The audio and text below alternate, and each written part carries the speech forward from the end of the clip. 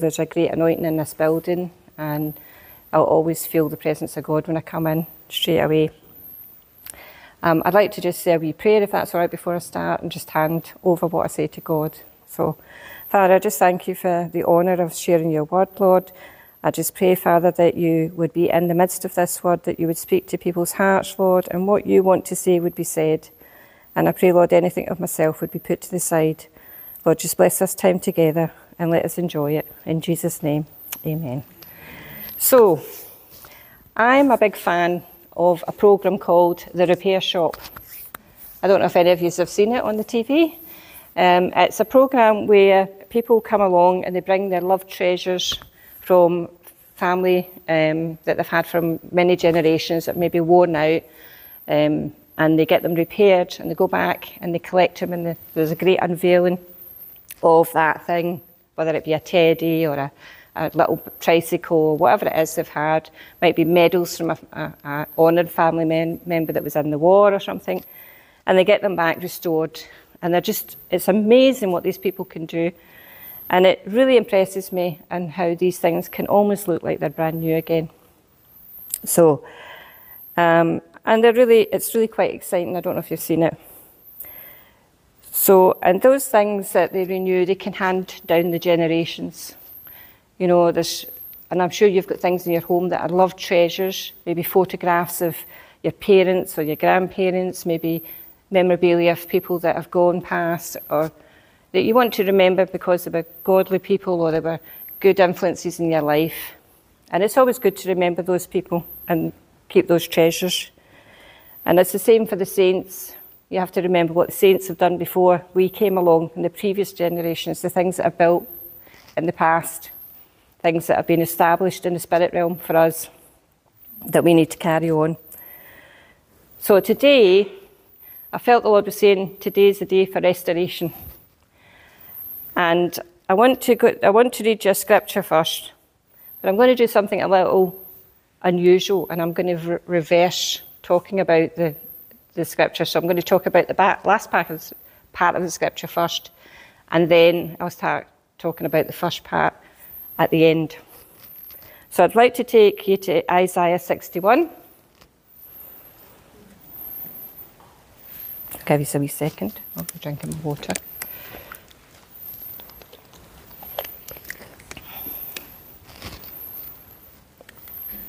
I'm going to start at verse 1. The Spirit of the Sovereign Lord is on me, because the Lord has anointed me to proclaim good news to the poor. He has sent me to bind up the brokenhearted, to proclaim freedom for the captives and release from darkness for the, prisoner, the prisoners, to proclaim the year of the Lord's favour and the day of vengeance of our God, to comfort all who mourn and provide for those who grieve in Zion to bestow, to bestow on them a crown of beauty instead of ashes, the oil of joy instead of mourning, and a garment of praise instead of a spirit of despair. They will be called oaks of righteousness, a planting of the Lord for the display of his splendour. One of my favourite scriptures. So, maybe a bit unconventional, this bill. I don't know if people do this, reverse the scripture around and talk about the end of the run, but it's what God's told me to do. So, our God is a God that trades. If you, you only have to look through the scripture and you'll see that He will trade you your bad for His good. He will trade whatever rubbish you're carrying and take it off you and give you something good to replace it. So, whatever you're carrying at the moment, that is rubbish in your life, you can hand it over to God. You can see it in Psalm 65 where he trades lack for bounty. You can see it in Ephesians 2 where he trades shame for mercy. You can see it in Joshua 1 9 where he trades fear for courage. So, whatever it is you're carrying today, and I believe, and this is for me as well, there's been things I've been carrying recently, I've had a lot of trials, like we do as Christians, um, that God wants to trade. Today's a day of trade. There's plenty of examples in the Bible where God trades things for better things. And God was speaking to me about his children, and he was saying to me There are many of my children out there who are trying to restore others where they haven't traded the rubbish in their lives and be restored fully themselves. So I'm going to use this as a, a bit of a visual, because I'm a visual person, I don't know about you. When I go to meetings and people use visual things, it reminds me of that when I see that thing during the week. So when you see a bottle of water during the week, I hope this reminds you of what I'm about to say. So when we become a Christian, that's this bottle represents me, right? I'm just going to say it's of me. This bottle represents me in the world, full of the world. The water's the, the world, okay? So when I become a Christian, I'll take the lid off and I give it to God and I say, That's me, I'm open to you, Lord. I'm ready for whatever you want. And God starts to restore me, starts to take some of my pain from my childhood, some of my anger. I hope this holds the whole bottle near enough. and He continues to heal me and He continues to restore me as I walk with Him. Okay? And it keeps going. I'm going to have to drink some, I think. Keeps going. And it keeps going over the years. Now I've walked with God for a good few years now. Okay? And you get to a point where you feel as if you've given everything to God. Okay? But there's always that little bit in the bottom that we don't want to let go of, isn't there? There's always that little bit that's, mm, we're a bit afraid to admit that to God. We're a bit afraid to give that to God because what will He think of us, or what will others think of us if they find out that little bit's left in us? And I heard a, a, a saying recently about and it really struck home with me when I heard this. It was passed by Rebecca had heard it and she told me about it, and it really struck home with me. 99% of obedience is still disobedience. If you've given God 99%, but you've still got 1% left, I'm that person. I'm not preaching to you that I'm not hearing for myself. There's 1% of me that's still not quite fully surrendered because I'm afraid to admit it to God. I'm afraid to give it fully over because of all the things I've experienced in my life. I've been let down so many times by man that I've that I just there's that last bit of me just can't trust. There's just that little last bit of me can't trust. And because man's taught me that, there's a little bit of me that finds it really hard to trust God. And God said, Val, today I want to take that last bit. I want to have that last bit of you. I want you to surrender that rubbish, that last thing, that thing in you that tells you you can't speak for me because you have all these issues that you've carried all your life. You can't speak for me because you're not good enough. That's the devil. That's not God. God says you're good enough. God says you're able enough. But the devil will keep speaking in your ear and telling you, Oh, I'm not, I'm not the person to speak. Somebody else can speak. I don't have the confidence to do that. Now, I can tell you several years ago, I couldn't even look another person in the eye, let alone stand up here and speak. Because I suffered from depression so badly, I couldn't even, I couldn't even engage with other people. It took all my willpower to step out the house. But God can transform you and He can change you. And if you have an, something in you, you feel, I'm not confident in that area, God can make you confident in that area. He can help you, He can restore it. And I believe there's a lot of Christians today, and that's why we're not seeing revival. There's a lot of Christians still hanging on to this little last bit.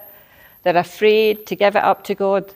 They're afraid to surrender 100% to Him and go where He tells them to go.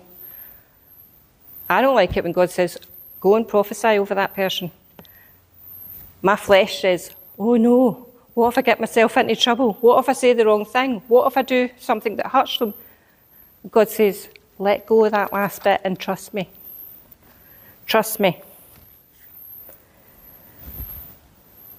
Is there a little bit of you that you want to trade today. Maybe you've got the ashes of a broken relationship. Maybe you have the ashes of a broken childhood. Maybe you've lost a loved one, or maybe you've lost a part of yourself somewhere along the way in the troubles you've faced. Or maybe you've lost a little bit of your faith because it's been really hard recently.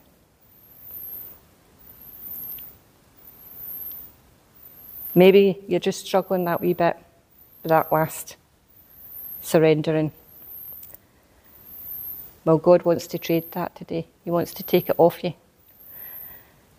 And He wants to make you 100% effective in ministering to other people. Because that little thing that the devil uses that you're still holding is what's holding you back. That little thing you haven't surrendered. Now, I'm saying little thing. It might seem like a big thing to you, but to our God, it's a little tiny thing in the vastness of His power. So I'm going to say a wee prayer just now, and I'm going to pause in the middle of it, and I'm going to give you a few seconds or a moment just to surrender it in your heart between you and God, because it's nothing to do with anybody else, it's between you and God. And I'm going to give you a moment to surrender it, and then we're going to move past that thing. Okay? So if we can just close our eyes for a moment. Lord, we come before you, and I surrender.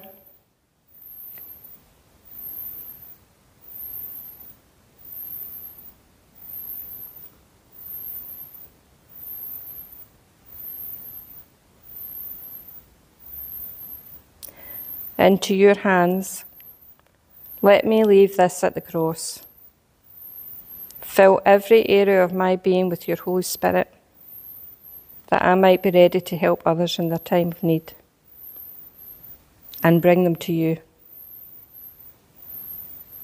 Help me to walk in a new way by your Spirit and in your truth with the help of the Holy Spirit.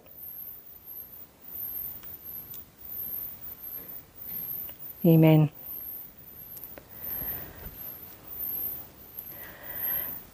Now, I believe that you've handed it over to God. And in the word of Jesus, it is finished. Don't pick it up again. Don't let him talk you into carrying it again. Don't even think about it again because it's done. You've handed it over. It's on the cross. It's no more. It doesn't exist anymore, that thing. And now we've done that part, I want to move on to the beginning. This is the exciting bit. This is the bit I've been looking forward to. This is the bit of fire. This is the bit. So, we have been anointed. The sovereign Lord has anointed us. I don't know about you, but I am so thankful to God for that, that He has anointed me, because I could do nothing in this life without Him. I am anointed. I am anointed by the Lord to proclaim the good news to poor. He has sent me to bind up the brokenhearted, to proclaim freedom for the captives and release from darkness the prisoner. Are you not excited to release some people from captivity? Are you not excited? Are you not excited? If somebody hadn't stepped out for you, where would you be today? My wee granny hadn't been praying for me, I wouldn't be standing here today. She set me free for, for her prayers because God heard her heart. Are you excited to set people free? I'm excited. And I'm going to tell you what, why, because I've had some experiences recently that make me more excited.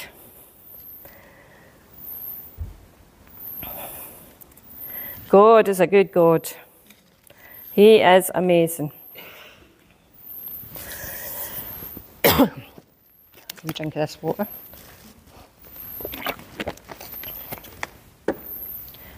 Now, the Old Testament says the anointing's upon us. We have one step ahead of that. It's in us. We carry it wherever we go. So wherever you go, and however you encounter, you carry God with you. So in that moment, you can say, Lord, I need some help here. How do I reach this person? How do I, how do I bring you into the conversation? How do I witness to them, you know, by my actions, by my words, by the way I care? We have God to call on wherever we go, at any given moment, at any time. How amazing is that? We've got God in speed dial. If you're out and about and you encounter a friend or a neighbour or somebody who's struggling, you have the ability to transform, to change that atmosphere. If you encounter someone that you meet in the street, even at the bus stop, and you're talking to someone and they're, they're saying, oh, maybe they're, as they do in Scotland, they're pouring out about how their health's bad or how their family's giving them a hard time or how, how this is happening in life. They're always talking about the negative. You can change the atmosphere in that moment you can start telling them, well, I don't have that issue. I'm happy all the time because I have God. God's always with me in my circumstances. I'll pray for you. Uh, or even just say, well, I'm happy to listen. Because some people don't have anybody just to listen when they're in trouble. You think about the Bible. Moses had Pharaoh on his back, chasing him. chasing him right down to the Red Sea. And Moses is getting the people and he's trying to get them safe. And he stops at the sea and he's like, What am I going to do? Look at this obstacle that's in my way. And he says, God, what do I do? How often do we do that when we're out and about? How often in our day when we face a challenge do we go, God, what do I do? Or do we just jump right in and try and fix it ourselves? And I've realised too often I've jumped in and tried to fix it myself rather than saying, God, how do I deal with this? I heard somebody preaching a couple of weeks ago, and they said that God had told them to start a church. I think it was Sandy Jameson, actually. I don't know if you know Sandy. And he was saying that um, some, God had told them to start a church, so they started this church in the town in a house. And they thought, because they thought, we'll start a house, won't be many, that many people come. 19 people turned up. And then he got there and he said, I don't know what I'm going to do next. Because people were saying, What do we do next, Sandy? Do we pray? Do we do worship? Do we do this? And he's like, I don't know what to do next. And he went, uh, Excuse me, I'm just going to the bathroom. And he went into the toilet and he went, Lord, what do I do next? Because he didn't know what the next move was because he was just following God. We need to just follow God and trust Him. We need to just follow Him and trust Him. And we need to, when we get to that point and we think, what's next? We just need to say, God, what's next? Don't try and work it out for yourself. Don't try and find a way through yourself. Just say, God, what's next? Because if you're in His will, you're protected. If you're in His will, you're protected, you're guarded, you're safe in His arms. The minute you step out and try and do it on your own, you've opened yourself up to attack. You've opened, you've let your defences down. David, David ran and hid constantly because he didn't want to face the challenge. He hid and he hid and he hid until God said to him to move. Sometimes we don't want to face the challenge. Sometimes you get up and God says, I want you to go and do something, and you don't. You know, I, I have had this recently. God said, You need to face this person, you need to tell them honestly where you're at. That's the honourable thing to do rather than just disappearing. And I didn't want to do it. But I had to do it because that's the way God wanted it done. He wanted it done with honour and with integrity because I'm a representative of Him. And my actions represent who He is. So I had to do it the honourable way. Noah Noah had to speak up. We're building an ark. Hey, eh, ha ha ha. You're building an ark. What for? How many times has God said to you speak up? And you know, if you're like me, eh, go speak to the pastor. go speak to the man of God that knows more. I've done that in the past. Or I've, uh, I'm not quite sure how to answer that question. Maybe you could ask my friend Grace, she's quite knowledgeable. no, someone's asking you. God's put someone in front of you and they're asking you about an issue. God's equipped you to answer that. He's equipped you to have the right words to encourage that person and to help that person. It's time to speak up. It's time to open our mouths. It's time to say what God tells us to say, regardless if you think somebody's going to laugh at you. If they laugh at you, well, the joke's going to be on them because God will have his way. God will have his way. And I have had in the past prophecies where people have laughed at me. They've actually laughed at me and said, That's a load of rubbish, don't believe a word of that. And I went home broken hearted and cried and said to God, Why did you give me that word? Why did you put me in that position where I was humiliated? Where people thought that I was telling, making up stories. But God always vindicates you. He always vindicates you because that person came back to me and said, I have to apologise to you because I was not ready to receive that word. I did not want to face the truth. But we have to, we have to be people of God. We have to be have His integrity, have His righteousness. We have to be honest and truthful. And there's ways to be truthful without being hurtful. There's ways to be truthful without being hurtful. We can be honest with people and give them the truth in love without sticking the knife in. We all have faults. We all have issues. We all have things that we're not great at. You don't need to tell somebody all their faults because they already know them. They already know them. And they're already probably being spoken to by God. What you do need to do is to give them the truth in love. Esther. I love Esther. She's one of my favourite women in the Bible. I absolutely love her. She needed courage because she had to face a man of authority. She had to face a king. All my life, I've had issues with men in authority. The devil really likes to push men with authority at me and wind me up and try and get me triggered. But God has taught me to have patience. God has taught me how to be aware of myself, to be aware of my own trigger points, to be aware of the things that have shaped my life because of my experiences as a child. But He's also taught me how to have courage and stand firm. You know, people will get in our faces and what the devil wants you to do when people get in your face and say, I don't like you, or I have this issue or that issue with you, what the devil wants you to do is do this and back off from God. But what you need to do is just do this and not move. Stand and pray and say, God, I need your help in this situation. I'm not going backwards. I'm not going back to the things I've had before, the issues I've had before. I'm standing my ground with you. You've brought me this far, and I'm not giving up any ground you've given me. But I'm standing here praying. I'm standing here waiting to hear what you want to do next. We are anointed, chosen ones.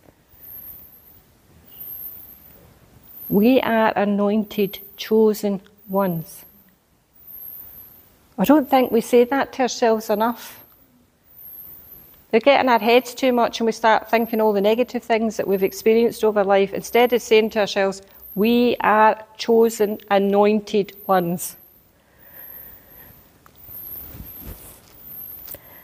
To, uh, 2 Corinthians 1 21 and 22 says, Now he who establishes, establishes us with you in Christ and anointed us is God who also sealed us and gave us the Spirit in our hearts as a pledge. We're not only anointed, but we have His seal. Christ sealed the deal. He sealed the deal. It's a done deed. The Holy Spirit empowers us. No one can break that. No circumstance, no person, nothing can break that. Only we can break that. Only us can walk away from God. But if we stand firm with Him, nothing can break that. Nothing can do that. So I want us, and you might think this is a bit silly, but I want us to make a, a wee declaration today, and I want us to say it. How many times, God? Four times. Four times I want you to say. Right?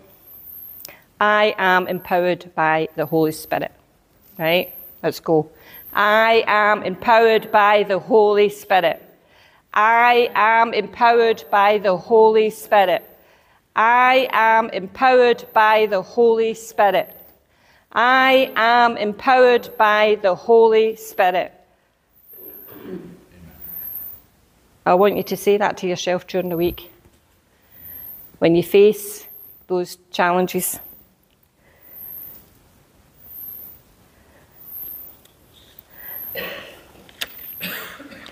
I want you to keep saying that to yourself. I want you to say, I set the captives free through Christ. I set the captives free through Christ.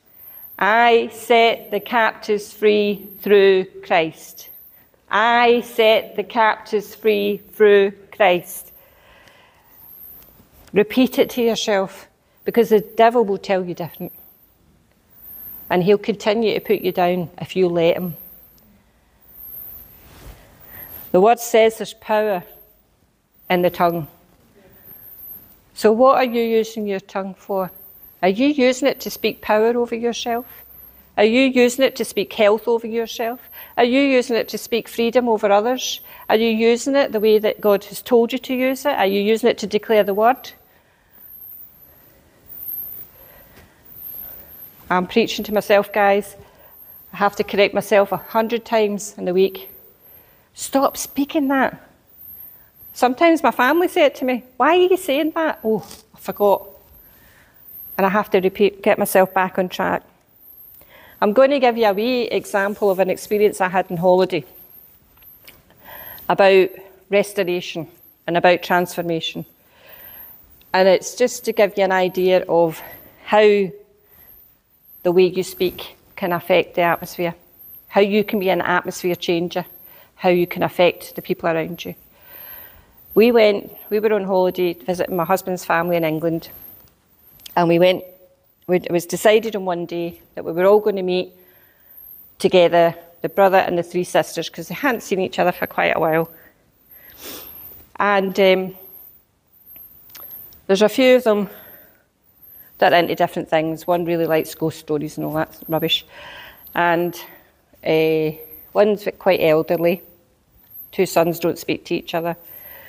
And uh, we got together, Rebecca and Alex were there, myself, Paul, and his three sisters, and the niece. We were sitting out in the garden in the sunshine, having a cuppa, chatting, and I noticed that the, the conversation was all about, oh, I'm getting old. I really don't think I can do anything anymore.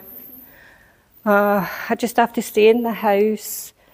And then another one saying, Oh, I get, I'm so depressed. I just fed up with this and that, and nothing much. And so and so's not talking to me. And oh, I really don't like that member of the family because they've not spoke to me for years and I don't get to see my grandchildren. And it went on for a little while. And I thought, this is, these people are bound. They're bound by negativity. They're bound by the enemy. He's convinced one that she's got depression and she's she can't go outside, she can't be in the sunlight, and so much so that she's on medication because she's not getting the vitamins D from the sun. He's convinced another one that she's she's saying I'm going to die soon, I'm getting old, and, and then the other the other two are going on about family situations, and I thought they are tied up in the negativity of the devil. They really are. So I went off off and sat myself for a wee second and just had a wee prayer. I said, Lord, what is going on here? Why are these people so negative? Why are they so bound up in like misery and you know re- everything we're saying was like they were almost rejoicing in misery and the misery they're living. Anyway, we got up to go, and uh, one of them said, "Oh, well, I hope to see you again because you know I'm getting old. I might not be here when you come back." And I'm like, wait a minute, when you celebrate your 90th birthday, I says, I'm coming to your party. I said, and we're going to get, we're going to dance. I said, we're going to rejoice that you're 90 and you've lived to 90. I says, wait a minute. I says, why are you all being so miserable? I said, life's good. You've got to live life and be joyful and enjoy life. I said, it's not meant to be lived like this. And I started to almost preach to them. And I was saying to them, you know, when I was on my cruise with Paul, I said to Paul, do you want to get up and dance? Because there was a DJ on one night. And he went, oh, no, I don't really dance. Well, no. And he shied away from it. And I went, right, bye, I'm not living miserably. And I went up on the dance floor and I started dancing away in the middle of the dance floor on my own. And then this wee girl, disabled girl, come on, she started dancing with me. And I'm talking to this one and that one, and they're all looking at me as if to say, why did you get up there on your own? because that's the example of being living a joyful life. If you're happy, you can't help but show it. If you've got contentment, you can't help but show it. So I'm telling these, the story to these family members, and I'm going, you need to live life to the full. You need to live for hope, for joy, for happiness. Don't live for misery and being depressed and I can't do this and I can't do that. Live for joy, live for hope, live for loving each other, enjoy each other's company while, while we can. And they're all like, oh, yeah, you're right. And they, and they started to change their mindset and they started to say, you're right. Yeah, I'm going to get out a bit more and I'm going to do this and I'm going to do that. And I said, Good on you. Don't be tied to being miserable. Enjoy life, enjoy each other, love on each other, look after each other. And I came away and I thought maybe I was a bit much. You know, like you do, you walk away and you think, maybe I'm a bit over the top. And Rebecca and Alex said to me, You were, in, you were preaching at them that atmosphere changed. It changed from them being miserable and moaning and groaning to them being happy and having a laugh and saying, Oh, yeah, if you come back and we have a party, we'll all dance together and, you know, we'll have fun and all that. And they were making jokes about what they would do. And, and I said, That's what we need to do. That's what we need to do. You don't have to go up and take a Bible and shove it under somebody's face and say, There's the Bible, you need to know Jesus, get in the Bible. Yeah, that'll come. That'll come when they give their hearts. That'll come. First of all, you need to show them that life is full of joy when you're with Jesus. Life is full of love when you're with Jesus. Life is full of freedom. Freedom to get up and dance when you want to get up and dance because you don't care what other people think. Freedom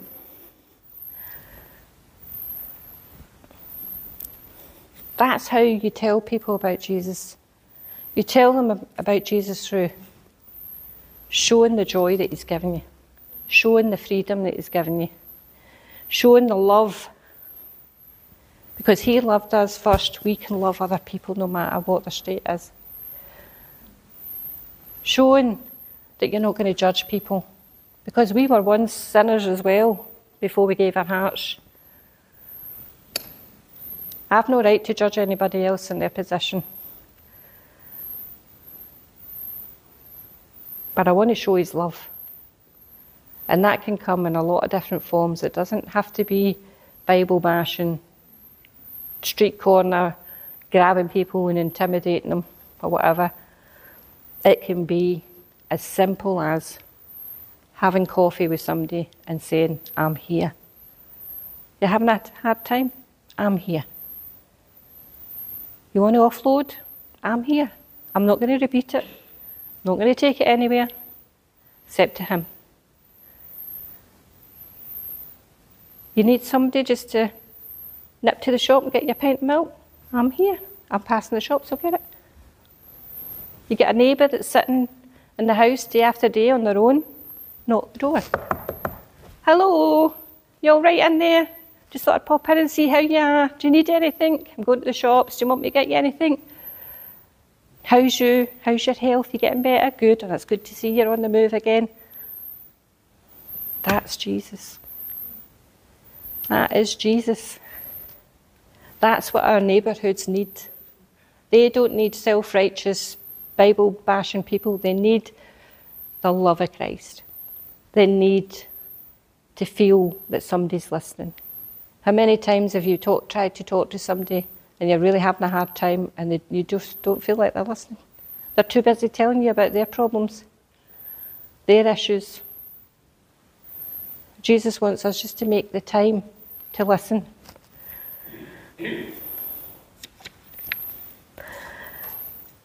In 2 Samuel 10 12, it says, Be strong and let us fight bravely for our people and the cities of God. The Lord will do what is good in his sight. I'm asking you today who are your people? Who are you willing to fight for? Where are you willing to start? That's what God asked me, Val. Who's your people? Who are you willing to fight for? And how are you going to start? That's what he asked me. And I've started. I've knocked on my neighbours' doors and asked if they need anything. I've uh, in the middle of that situation, I said to God, how do, I, how do I deal with this? And God said, just tell a funny, tell us the story about you dancing and tell them about love and joy. That'll show them me. So, who are your people? Where are you going to start? How you, how are you going to do it? Be a bringer of good news. Be a person that reflects that scripture that says that you're anointed.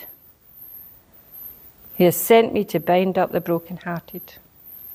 Have you got a neighbour that's brokenhearted? Have you got a friend that's brokenhearted? Or maybe even you're a bit brokenhearted. Maybe you could call on a friend that you know is real trustworthy, that you could just share how you feel and you can pray together. I've got a friend like that. It's good to have a friend that you can pray with when you're struggling. Who are you proclaiming freedom to? I want to set captives free. I want to set captives free. I want to be an atmosphere changer. I want to walk in the room and because God is with me, not because of me, but because God is with me, the Holy Spirit is with me, that people are drawn to me. And I bring the joy, I bring the hope, I bring the love, I bring the, the, the freedom. Not because of me, but because His power is resting in me, because His Holy Spirit is in me. People out there today are really struggling. You only have to walk along the street and you'll see people, they don't even smile anymore. Just smile at somebody when you go past, it's infectious. It can change the atmosphere. If you're in the shop and just say thank you so much for your help to the checkout operator. Or if you see someone with a nice outfit on, say, Oh, I really like that top, it's a really nice colour on you. Breaks off the negativity straight away because we're bringing the freedom. Show your joy. Show your peace in times of trial. Show your steadfastness.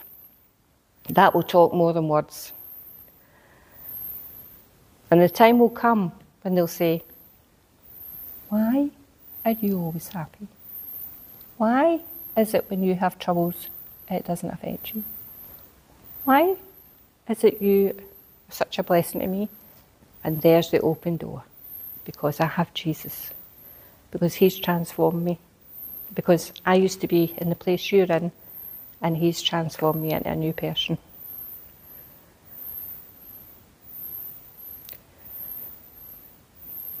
They will ask, they will see it by your actions, they will see it by your words, and they will see it by your joy your hope, your love.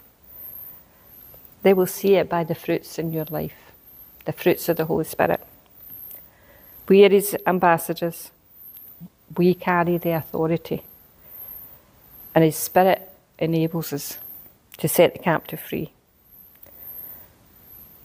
That's how we're going to transform the nation. That's how we're going to make a difference. But my thing that God wanted me to say to you today is remember you are His. You carry the authority. Remember that you are not your past, you are not your past experiences, you are not what other people speak over you. You are His. You are sealed by His anointing, you are equipped by His anointing, and you have the ability to transform. Who are your people? Who are you going to transform? Who are you going to set free? Where are you going to start? That's what God wanted to say to us today.